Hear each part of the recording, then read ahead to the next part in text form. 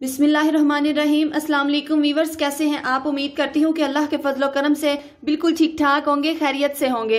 आप देख रहे हैं Subhan food secrets YouTube channel. Viewers, आज हम बनाने जा रहे हैं गाजर का हलवा। गाजर का हलवा हमारे पाकिस्तान में एक स्वीट डिजर्ट के तौर पर बनाया जाता है और खासकर छोटे बच्चों को तो ये बहुत ज़्यादा पसंद होता है। गाजर में बहुत ज़्यादा मिकदार में विटामिन ई e और पोटेशियम पाया जाता है, जो कि हमारी सेहत के लिए बहुत बेस्ट है। लेकिन यहाँ पर रेसिपी को शुरू करने से पहले मैं आप सभी से दो ही रिक्वेस्ट करूँगी। एक तो आपने सबसे पहले चैनल को सब्सक्राइब करना है, दूसरा आपने वीडियो को एंड तक ज़रूर देखना है, ताकि आपको अच्छे से समझ आ सके।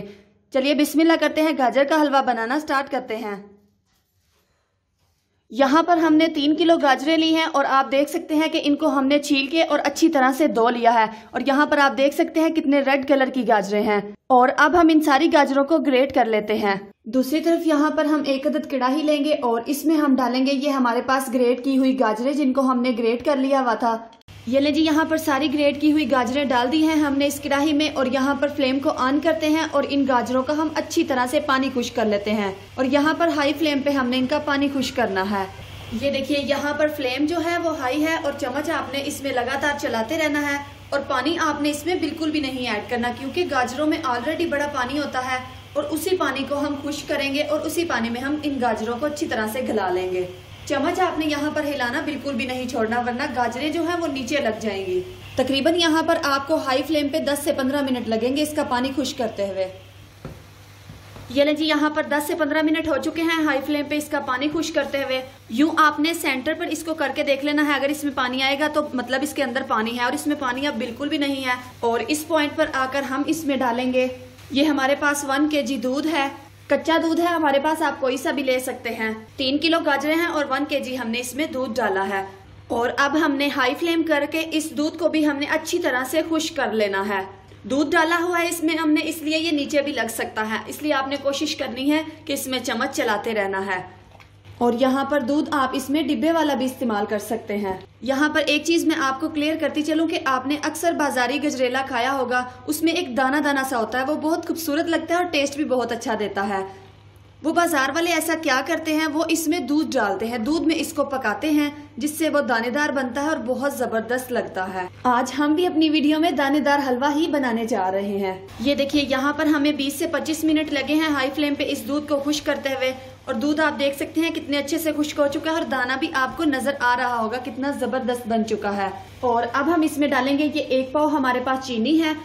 चीनी आप अपने टेस्ट के मुताबिक कम ज़्यादा कर सकते हैं। साथ ही हम इसमें डालेंगे वन टीस्पून हमारे पास इलायची पाउडर है।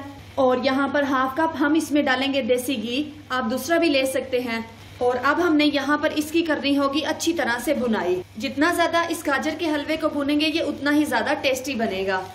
ये ले जी, यहाँ पर आप देख सकते हैं, गाजर के हलवे की बुनाई करते हुए हमें 10 से 12 मिनट हो चुके हैं। फ्लेम को ऑफ़ करते हैं और इसे ठंडा होने के लिए रख देते हैं। अब चलते हैं एक मज़ेदार से स्टेप की जानिब। ये लें जी, यहाँ पर आप देख सकते हैं कि गजरेला जो हमारा है, वो ठंडा हो चुका है और अब हम इसमें डालेंगे एक पाव हमने लिया हुआ है खोया। वो हम इसमें ऐड कर देंगे, बिस्मिल्लाहिर्रहमानिर्रहीम। खोया आपने हमेशा गजरेले को ठंडा करके ही डालना है। गर्म में डालेंगे तो वो मेल्ट हो जाएगा, बिल्कुल भी अच्छा नहीं लगेगा। और अब हम इसके ऊपर गार्निश कर देंगे ये पिस्ता और बादाम जिनको हमने बारीक क्रश किया हुआ है। और यहाँ पर अब हम इन सारी चीज़ों को अच्छी तरह से मिक्स कर लेंगे। और फिर चलते हैं फाइनल लुक की तरफ़। आप लोगों को प्लेट में निकाल के दिखाते हैं कि ये कैसा बना है। तो ये लीजिए, माशाल्लाह, अल्हम्दुलिल्लाह अल्हम्दुलिल्लाह। ज़बरदस्त सा डिलीशियस सा गाजर का हलवा बन के रेडी हो चुका है। यकीन करें कि ये बिल्कुल हलवाई स्टाइल हमने बना के तैयार किया है। सर्दी का मौसम है गर्मा गर्म हलवा और साथ गर्म चाय हो जाए तो क्या ही बात है। उम्मीद है आपको आज की वीडियो बहुत ज़्यादा पसंद आई होगी।